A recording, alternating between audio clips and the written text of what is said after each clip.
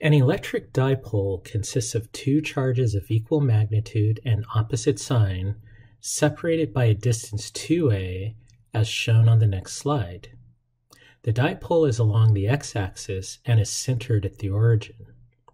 If the electric potential is taken to be zero at infinity, calculate the electric potential at any point y on the y-axis, calculate the electric potential at any point x on the x-axis in between the two charges.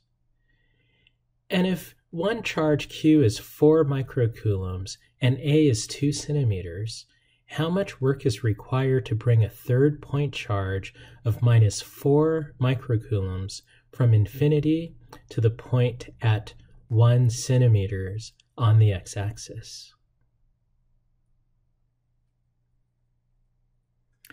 For part B, we have to calculate the electric potential at any point x on the x-axis, on the positive x-axis, in between the two charges. Well, we could now focus our attention to the positive x-axis. We have the positive charge at minus a and the negative charge at plus a.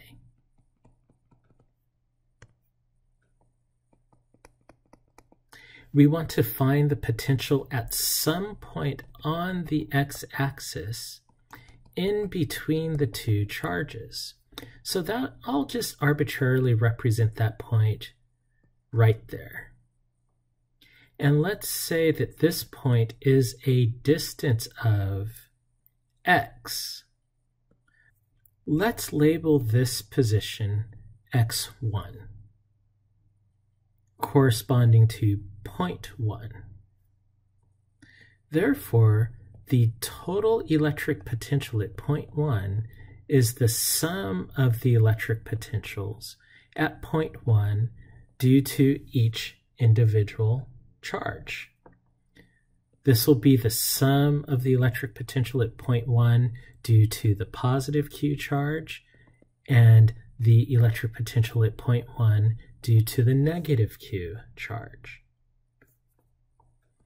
This means that the total electric potential at point 1 on the x-axis is equal to kq over r1 minus kq over r2, where r1 is the distance from the positive charge to our point 1, and we could see from this picture that that distance is going to be a distance of x plus a. Let's label that. R1 is equal to x1 plus a. R2 is the distance from our second charge, the negative charge, to the point on our x-axis. That's this right here. And that difference is going to be equal to a minus x1. Let's write that r2 is equal to a minus x1. Therefore, the total electric potential at point x1 on the x-axis is equal to kq over r1, which is x1 plus a, minus kq over r2, which is a minus x1.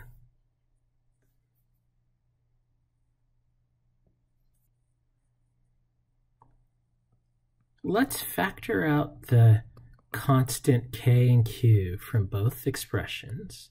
So this is 1 over x1 plus a.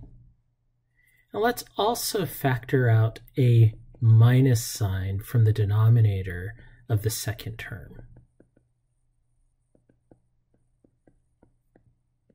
This means that the total electric potential at point x1 on the x-axis is equal to k q 1 over x1 plus a plus 1 over x1 minus a, where I'm recognizing that a negative times a negative is a positive. Getting the common denominator of the two terms means I could write this as x1 minus a plus x1 plus a all over the distance or the difference between two squares, which is x1 squared minus a squared. The a's cancel out.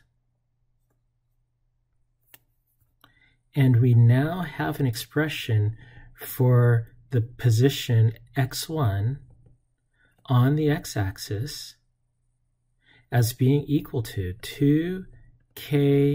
2kqx1 over x1 squared minus a squared.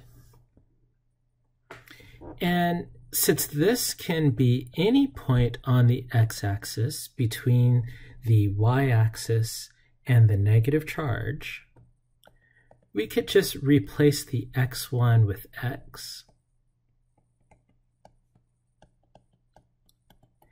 And I'll put the interval in which this is defined from 0 to a.